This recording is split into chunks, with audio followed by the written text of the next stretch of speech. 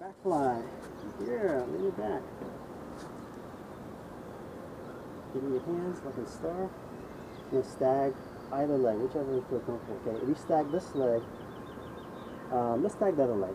Okay, what that does is it signals that I'm going to pivot onto the hip that you have stagged. Okay. Because I can't, I can pivot on the hip that isn't stagged, but this is easier because there's there's a shelf there, right? Shelf, So I'm gonna hook my feet deep, just like side star. I can't start here. I got to hook deep. From there, I'm gonna shift the weight over. Now you hear you pushing off diagonals now, and it naturally turns into reverse bird. Okay.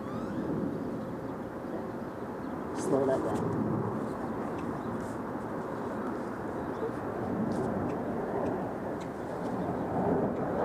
Fly. A lot of diagonals involved here. I got reach, reach, reach. As soon as you're hooking over here, now you're on a diagonal. This arm is locked, and you're on that hip right there. And you'll, it'll naturally turn over. We'll place that foot, connect the hands.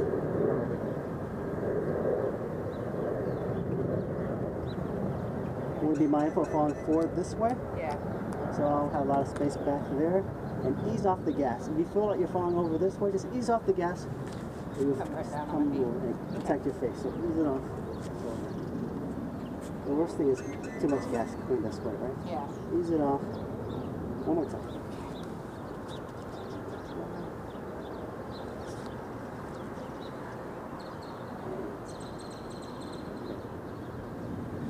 Reach, reach, reach. We'll pivot, push off that arm.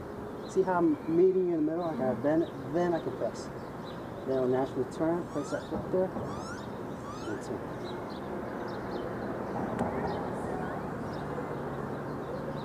So I think to start for this one, a good practice would be um, those diagonal lines. Okay. So meaning um, um, in, let's say like a reverse bird, let's go here. Let's practice what it feels like to just push off one hand like that. Okay. So we, we can pivot like onto this hip turn and that, over. That means I'm turning my toes in Okay. and then I'm pushing off the other arm, right? Toes in, and pushing off that arm. In. You'll do this a lot in a lot of washing machines where the toe is turned in towards Okay. the hip like that.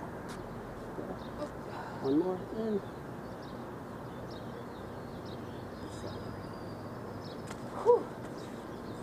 One. Um, you can also do that on the ground as the flyer. Just practice being able to hold opposites like that. Once that starts to feel good, you gotta be able to take both off. Just get that diagonal balance that allows you to transition a lot.